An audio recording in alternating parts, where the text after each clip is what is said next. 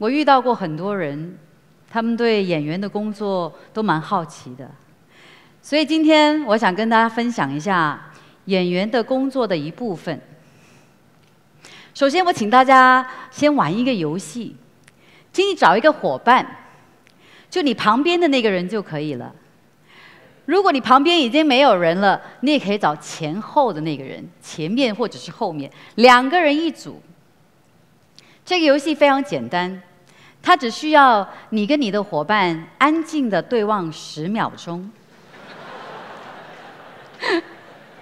他是有条件的，安静的对望十秒钟，请你们不要将你们的眼光移走，也请你们不要在心里数一二三四五六七八九十，一二，也请你们不要用手一二三四五六七，也请问你们不要摇来摇去，不要动来动去，可以吗？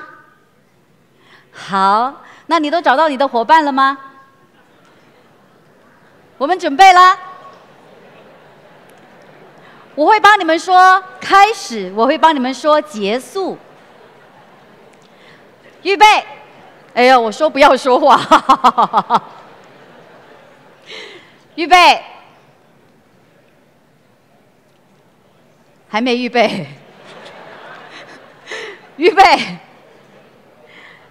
开始，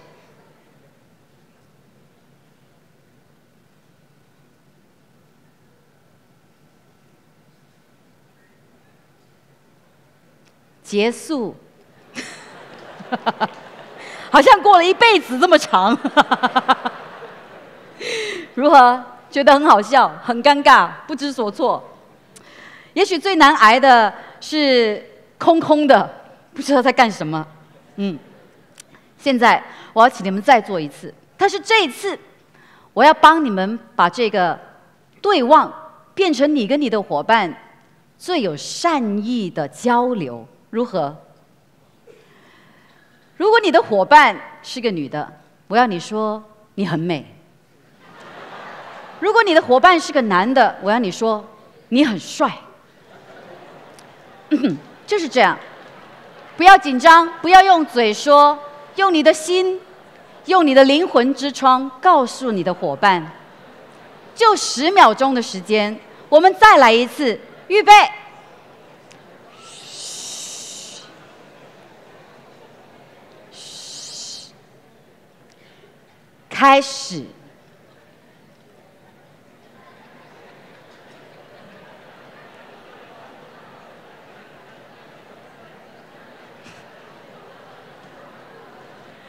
你们的眼睛好吵啊！结束。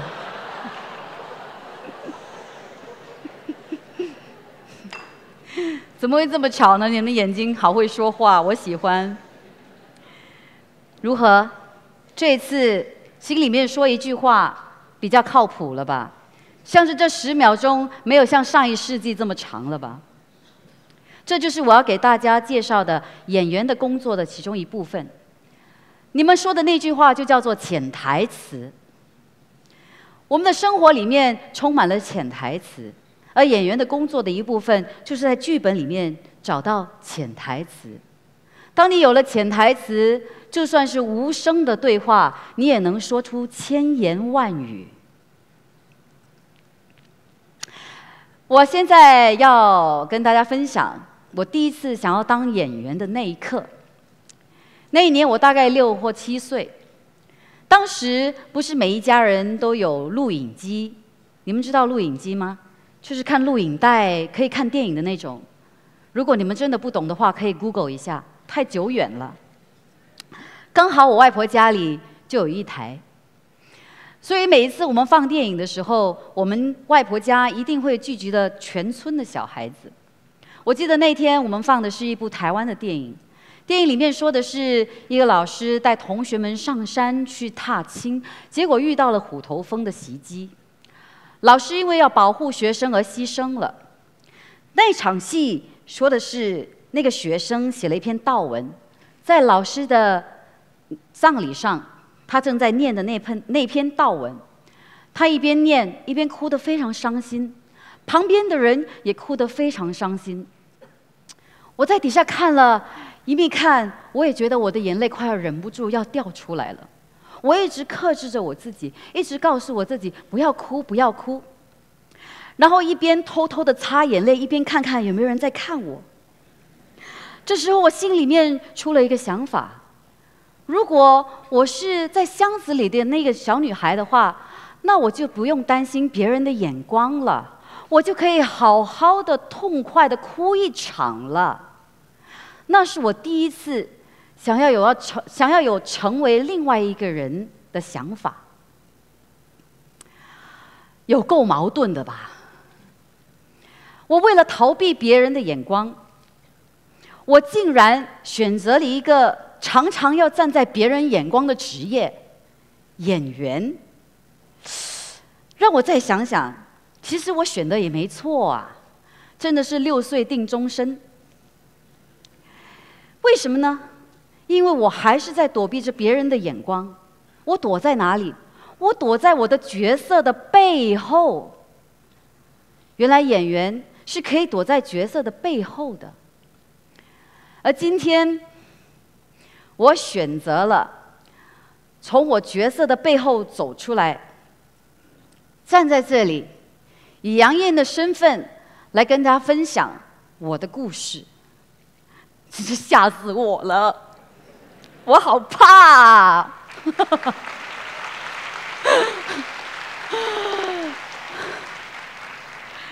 我已经四个月没有睡好了。为了准备今天，我给我自己抛了几个问题，其中一个问题是：杨艳艳到底是谁？现在我来给她做一个角色分析。就好像我在分析剧本一样。杨艳艳是一个女儿，她也是人家的太太，她也是个母亲。如果你想要她把家里收拾得整整齐齐的话，那对她来说是一个很大的挑战。在她被人家称为演员之前，她是一个发着白日梦、发着明星梦的小屁孩。她曾经受到她家人怀疑的眼光。啊，你要做演员呐，而且是做舞台剧的演员呐，你会饿死吗？你吃得饱吗？他也受到过家人谅解的眼光。你要去学习表演，什么东西来的？但是如果你需要生活费的话，我们还是可以帮你。他很幸运，他受到过一个。眼光中充满了信任的老师的赞赏。这个老师的名字叫郭宝坤。郭老师给了杨艳艳她人生中第一个女主角的工作。在那部剧，那部剧有两个小有两个小时这么长，杨艳艳在台上有一小时四十五分钟的时间。在同一部剧里，有一个配角的角色，女配角，她在台上的时间大概只有十五分钟。当那出戏演完之后，杨艳艳走在观众群中，她唯一听到的是大家都在谈论那个女配角演得如何如何的好，如何如何的受到她的感动。哎，我在台上一小时四十五分钟，哎，为什么没有人谈论我？为什么？为什么她能感动人？为什么我不能呢？在我的心里出了一个这样的问号：我要如何？才能做得更好。我要如何才能打动我的观众呢？这一路走来，杨艳艳觉得在她身上发生的幸运的事特别多。在她二十岁那年，她遇到了这件事。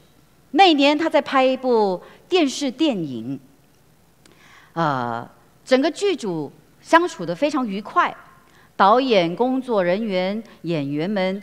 大家都很开心，合作愉快，一直到了庆功宴那天晚上，导演突然间用一种很怀疑的眼光看着杨艳艳，对她说：“艳艳，你长得不美，你又不会演戏，为什么你要继续当演员？”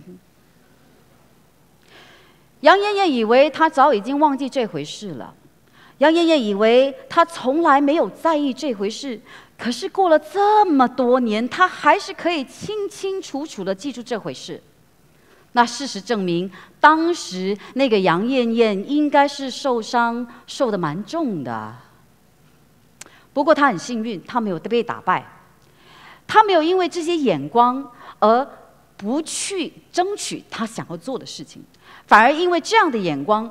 他更加的坚定，他应该要成为一个更好一点的演员。后来杨艳艳去念书，她念了三年的表演学院，她的学校叫 ITI（Intercultural Theatre Institute）。在学校里头，她接受嗯表演课、声音课、肢体课、思考课，再加上四种传统亚洲传统的表演。的教育，京剧、日本的能剧、印尼的 Wayang Wong，还有印度的 Bharatanatyam，在这么多种的训练的熏陶之下，他重重的训练的杨艳艳的思绪，还有她的身体的觉知。有一堂课是杨艳艳一直没有忘记的，那是她的印尼老师 Sadono Kusuo 给她上的一堂课，那堂课历时二十四小时。大家聚集在一个课室里头，在课室的中间摆了一张桌子，桌子上放满了食物。那二十四小时，大家不做任何的交流，可以任意的走动，可以任意的起舞，可以离开课室，也可以留下来，甚至可以在楼梯上翻滚。但是这些动作都必须是以慢动作来完成的。而且越慢越好。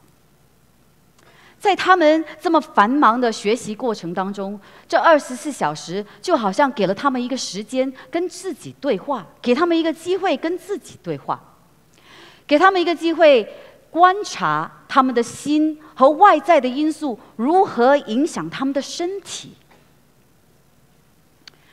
当杨艳艳，当杨艳艳，我自己的名字都念错了。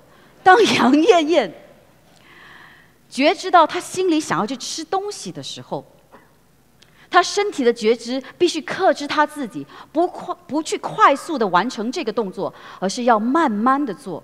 同时，她必须观察这么慢的动作，我需要用到多少的骨骼和多少的肌肉，去完成一个吃东西这么简单的动作。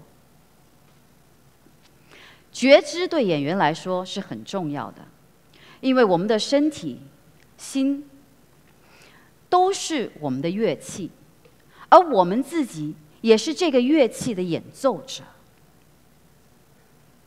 经过这些训练之后，后来的杨艳艳成了一个还不错的演员了。在我们整理剧本、创造角色的时候。演员需要先知先觉，让观众在不知不觉中坠入坠入角色的感情，坠入角色的情感当中，然后再让再让观众后知后觉的对角色产生感情。人一出生就被赋予了一个角色，就是父母亲的孩子。这是我们没有办法选择的，但是人生中有很多角色是我们可以自己去掌握、可以自己去创造的。在我结束之前，我想要再跟大家做一次刚才的游戏。我不是想要训练大家成为演员，而是觉得这个游戏。如果有一天，你跟一个人对望的时候，你可以运用你的觉知，决定你要散发出你善意的潜台词。这的情况可以让我们将我们的正能量散发出去。你可以试试看，这一次潜台词由你们自己决定。你们可以选择看你的伙伴。或者是看我都行。让我们来试试看好吗？我终于看到你们了。啊。预备。开始。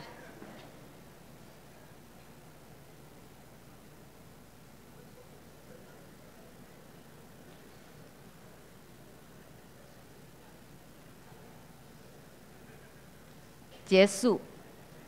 谢谢。